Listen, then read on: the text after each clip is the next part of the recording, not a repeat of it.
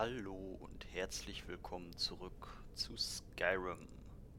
Wir haben ja hier genau letzte Folge aufgehört, hatten ja noch nicht das Portal aktiviert, aber das machen wir jetzt. Junge Dame. Ja, ja, ihr habt recht. Es tut mir leid. Ich hatte einfach nicht erwartet, dass meine Gefühle für sie irgendjemanden interessieren könnten. Danke. Also, sind wir bereit? Ja, wir sind bereit. Wir sollten dieses Portal öffnen. Also gut. Dann mal los.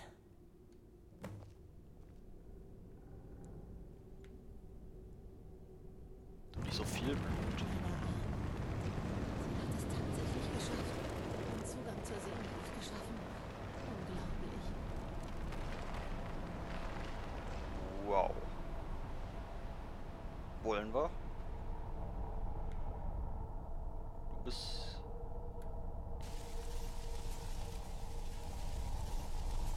Sollte mal schnell reingehen. Oh, oh, oh, oh, oh, oh, oh, Schmerz. Alles in Ordnung? Es hat sicher wehgetan. Ja, das hat's. Äh, was ist geschehen? Wenn ich genau darüber nachdenke, hätte ich wohl damit rechnen müssen. Tut mir leid. Das ist nicht leicht zu erklären. Das Seelengrab ist, äh, nun, wie soll ich sagen, hungrig. Es versucht, äh, euch eure Lebensessenz zu entziehen. Als Bezahlung. Es gibt also keinen Weg hinein. Vielleicht doch, aber ich glaube, die Lösung wird euch missfallen. Vampire zählen nicht zu den Lebenden.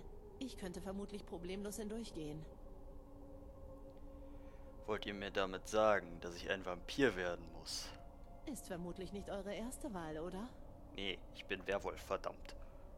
Es muss einen anderen Weg geben. Vielleicht. Wir könnten den Wegzoll natürlich auch auf andere Weise entrichten. Wenn es eine Seele will, dann soll es eine haben. Eure. Würde mich das nicht umbringen? Meine Mutter hat mir ein paar Tricks beigebracht. Ich könnte nur einen Teil eurer Seele mit Seelenfalle einfangen und den resultierenden Seelenstein den vollkommenen Meistern präsentieren. Das könnte reichen, um sie zu befriedigen. Es würde euch auf unserer Reise durch das Seelengrab etwas schwächen, aber das könnten wir beheben, wenn wir einmal im Innern sind. Vielleicht. Und es gibt wirklich keine andere Lösung. Es tut mir leid. Ich wünschte, es gäbe einen besseren Weg für euch. Einen einfacheren. Ihr sollt aber wissen, dass ich euch nicht weniger schätzen werde. Ganz gleich, wie eure Entscheidung ausfällt. Manche Dinge müssen eben einfach erledigt werden. Niemand weiß das besser als ich. Äh, verwandle dich in einen Vampir oder lass Serana Seelenfalle auf dich wirken. Ja, aber... Warte mal kurz, hier so. Moment. Kräfte. Da, Mann. Ich bin nur Werwolf, ich will kein Vampir sein. Beides sein kannst du nicht. Glaube ich. Oder? Nein, ich habe jetzt auch keine Lust, das auszuprobieren. Von daher Seelenfalle. Äh, nee, nicht B. A. Oh, was gibt es? Wirkt die Seelenfalle auf mich? Ein Vampir zu werden, obwohl halt, halt, halt, halt, halt, halt, halt, halt. Vorher. Da Quicksave und so. Jetzt. Nun, es sieht aus, als hätten es sich nach der Abreise meiner Mutter ein paar andere Gäste hier gemütlich gemacht. Wirkt die Seelenfalle auf mich? Ein Vampir zu werden behagt mir nicht. Seid ihr sicher? Ich kann es gerne machen, aber ihr solltet euch das gut überlegen. Ihr bleibt sterblich, aber ihr werdet euch geschwächt im Seelengrab wiederfinden. Ich bin bereit. Ich weiß, dass das nicht leicht für euch ist. Ich hoffe, ihr vertraut mir. Muss ich ja Ich wohl. würde nie etwas machen, das euch wehtun könnte.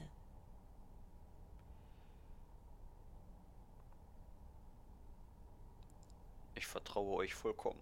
Ich danke euch. Dann lasst uns keine Zeit mehr verschwenden. Ich verspreche, es so schmerzlos wie möglich zu machen. Haltet still.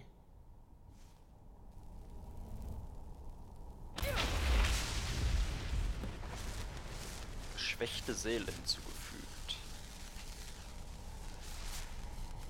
Okay, probieren wir es. Und es funktioniert.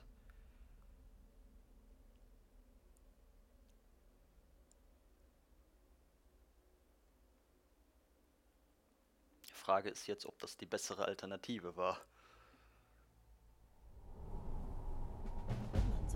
dass sich ein Vampir hier wie zu Hause fühlt, aber das täuscht. Lasst uns einfach meine Mutter finden und dann schleunigst von hier verschwinden. Frage ist, ob die Seelen hier uns feindlich gesinnt sind.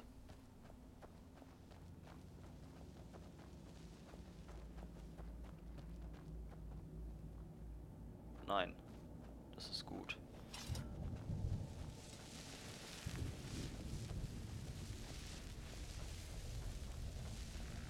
Oh verdammt. Knochenmann. Au. Hui. Kleiner Seelenstein.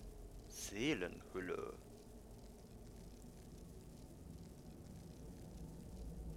Nehmen wir einfach mal mit. Seht euch nur diesen Ort an. Ich kann mir nicht vorstellen, dass jemand freiwillig hierher kommt. Du musst große Angst gehabt haben. Ja, da stimme ich dir zu. Du musst jetzt nicht mehr laufen. Ihr müsst mir helfen, meinen Avak zu finden. Er verdient es nicht, an einem Ort wie diesem zu leben. Immer mit der Ruhe. Wer ist Arwak? Avak, mein Ross. Wir kamen gemeinsam an diesen schrecklichen Ort. Wir wurden von Monstern angegriffen, also befahl ich ihm zu fliehen. Er ist so ein treues Tier und läuft schon so lange. Ihr müsst ihn retten. Ich flehe euch an. Ein Ort wie dieser verändert einen. Wie kann ich ihm helfen? Avak! Avak, wo bist du? Avak, bitte komm zurück! Komm zurück!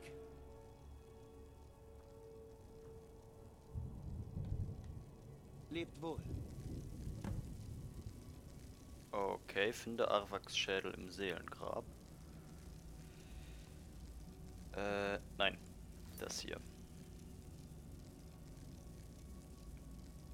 Das dürfte ja eine Quest unter Verschiedenes sein. Ja, ich sollte vielleicht auch Verschiedenes Mit den markieren. Toten, die hier auf ewig gefangen sind. Ah, Es scheint fast so, als würden sie immer noch leiden. Ja toll, ist nicht markiert. Gut, das heißt... Wow. Nicht lenken, das ist böse.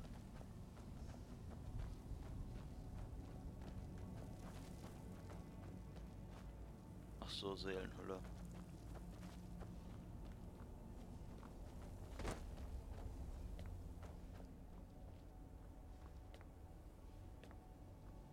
Boah, Alter, das mal wieder so eine krasse Atmosphäre hier drin, einfach nur. Krass, ey.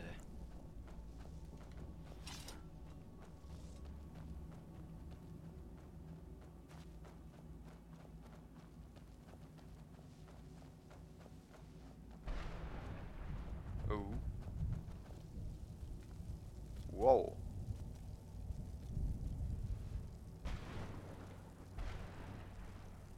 Alter.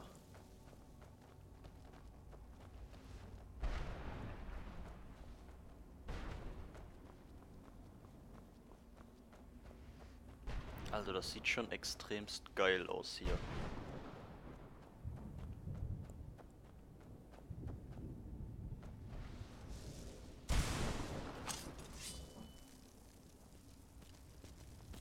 Hey, Woher seid ihr gekommen?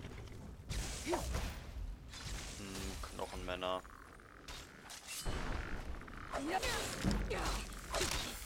Oh, einhändig verbessert auf 93.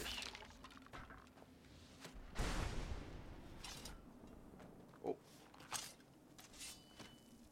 Da hinten ist noch einer. Woher seid ihr gekommen? Wow. Naja, ich durchsuche die jetzt nicht alle. Boah, diese Blitze, ey.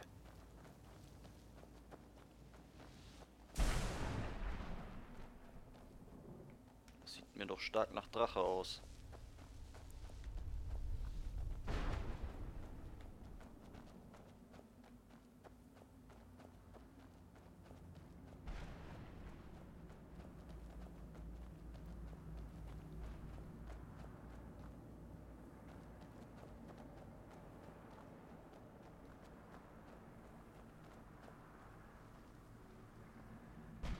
Boah, sieht das einfach nur geil aus hier.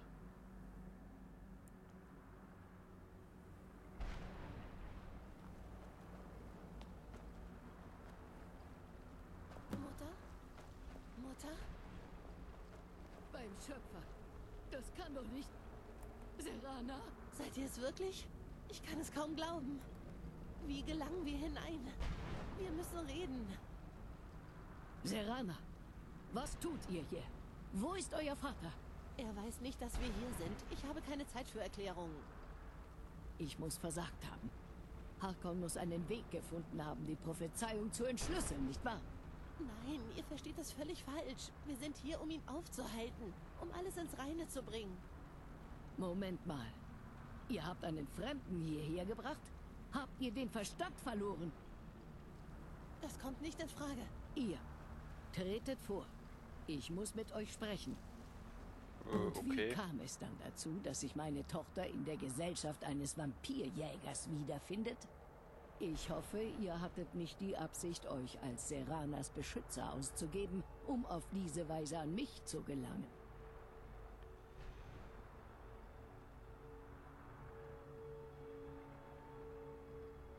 Das ist keine Finte. Ich will sie beschützen. Ich habe sie vor eurem törichten Plan gerettet. Ich bin nur wegen der Schriftrolle der Alten hier. Eigentlich bin ich erstmal wirklich nur wegen der Schriftrolle der Alten hier. Einfach herrlich. Serana sieht in euch einen Beschützer, doch euer stärkster Instinkt scheint mir die Gier zu sein. So war das jetzt nicht Meine Tochter gemeint. ist naiv wie eh und je. Serana hat alles geopfert, um Harkon an der Vollendung der Prophezeiung zu hindern. Ich hätte eigentlich erwartet, dass sie euch das erklärt. Deshalb suche ich hier die Schriftrolle der Alten. Haltet ihr mich etwa für so dreist, meine eigene Tochter nur zum Schutz ihrer Schriftrolle der Alten in diese Gruft zu schicken? Die Schriftrollen sind lediglich ein Mittel zum Zweck. Der Schlüssel zur Tyrannei der Sonne ist Serana selbst. Was meint ihr damit? Als ich aus Burg Volkia floh, nahm ich zwei Schriftrollen der Alten mit.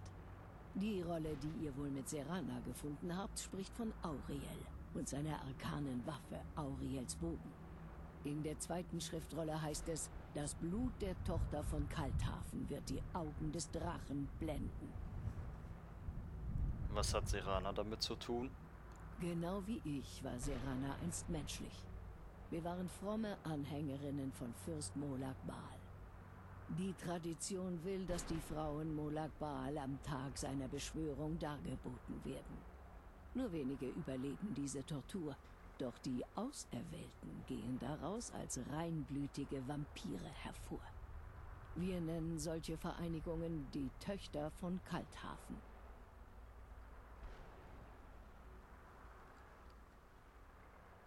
Ist Seranas Blut für die Tyrannei der Sonne erforderlich? Serana hat sich diesem Ritual freiwillig unterzogen. Äh, na, fragen wir erstmal Kalthafen. Manche nennen es auch das Reich von Molag Baal, seine Heimat im Reich des Vergessens. Ach so. Serana hat sich diesem Ritual freiwillig unterzogen. Es wurde von ihr erwartet, so wie es auch von mir erwartet wurde. Als Opfergabe für Molag Baal auserwählt zu werden, ist eine große Ehre. Sie hätte es nicht gewagt, eine solche Würdigung auszuschlagen. Ist Seranas Blut für die Tyrannei der Sonne erforderlich? So langsam begreift ihr, warum ich Serana beschützen wollte und die andere Schriftrolle der Alten so weit wie nur irgend möglich von ihr fernhalten musste. Wollt ihr damit sagen, dass Harkon vorhat, sie zu töten? Wenn Harkon im Besitz von Auriels Bogen wäre und die Waffe mit Seranas Blut befleckt würde, wäre die Tyrannei der Sonne vollendet. In seinen Augen würde sie für das Wohl aller Vampire sterben. Das würde ich niemals zulassen. Und wie genau gedenkt ihr, ihn aufzuhalten?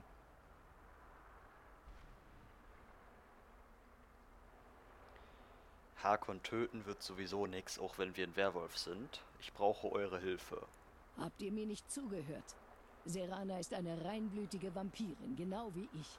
Meine Anwesenheit in Tamriel stellt ein ebenso hohes Risiko dar wie die Ihre. Und Seranas Meinung dazu? Ihr interessiert euch weder für Serana noch für unsere Not. Es spielt keine Rolle, dass ihr einer von uns geworden seid, um im Seelengrab zu überleben. Ihr seid im Herzen noch immer ein Vampirjäger. Ihr seid hier, weil ihr uns für Abscheulichkeiten haltet. Niederträchtige Kreaturen, die vernichtet werden müssen. Serana glaubt an mich. Warum nicht auch ihr? Serana? Dieser Fremde steht auf der Seite derer, die euch jagen und wie ein Tier töten wollen. Und da soll ich euch ihr anvertrauen? Dieser Fremde hat in der kurzen Zeit, die wir uns kennen, mehr für mich getan als ihr in Jahrhunderten. Wie könnt ihr es wagen? Ich gab alles auf, was mir wichtig war, um euch vor diesem Fanatiker zu beschützen, den ihr einen Vater nennt. Ja, er ist ein Fanatiker. Er hat sich verändert. Aber er ist noch immer mein Vater. Warum könnt ihr nicht verstehen, wie ich mich deswegen fühle? Oh, Serana, wenn ihr doch nur eure Augen öffnen würdet. Wenn euer Vater herausfindet, welche Rolle ihr in der Prophezeiung spielt und dass ihr euer Blut benötigt, seid ihr in großer Gefahr. Also habt ihr mich von allem ferngehalten, das mir etwas bedeutet hat, um mich zu schützen? Ihr habt mich nie nach meiner Meinung gefragt, ob es das Beste war, mich in dieser Gruft zu verbergen. Ihr habt einfach erwartet, dass ich euch blind folgen würde. Ihr wart beide auf euren eigenen Weg fixiert. Eure Beweggründe mögen verschieden gewesen sein, aber im Grunde bin ich auch für euch nur eine Schachfigur. Ich wollte, dass wir wieder eine Familie werden. Aber ich weiß nicht, ob dieser Wunsch je in Erfüllung gehen kann. Vielleicht verdienen wir diese Art Glück nicht. Vielleicht sind wir nicht dafür geschaffen. Aber wir müssen ihn stoppen, bevor er zu weit geht. Und dazu brauchen wir die Schriftrollen der Alten. Es tut mir leid, Serana. Ich wusste nicht. Ich war blind. Ich habe zu lange zugelassen, dass mein Hass auf euren Vater uns entfremdet. Bitte vergebt mir. Die Schriftrolle der Alten gehört euch, wenn ihr sie wollt. Eure Absichten erschließen sich mir noch immer nicht ganz. Um Seranas Willen werde ich euch aber nach besten Kräften helfen. Habt ihr eine Schriftrolle der Alten bei euch? Ja. Seit meiner Gefangennahme ist sie hier sicher verwahrt. Zum Glück seid ihr in der Lage, die Barriere, die diese Ruinen umgibt, zu durchbrechen. Aber was müssen wir tun? Ihr müsst die höchste der Felsspitzen ausfindig machen, die diese Ruinen umgeben. An ihren Sockeln zieht die Barriere die Energie aus den unglücklichen Seelen, die hierhin verbannt wurden. Vernichtet die Hüter, die sich ihrer annehmen, und die Barriere sollte fallen. Wir sind bald wieder zurück. Noch eine Warnung. Ein Drache namens Durnevier durchstreift das Grab. Nehmt euch vor ihm in Acht. Die vollkommenen Meister haben ihn mit der Bewachung der Hüter betraut. Sollte er euch als Bedrohung sehen, wird er zweifelsohne angreifen.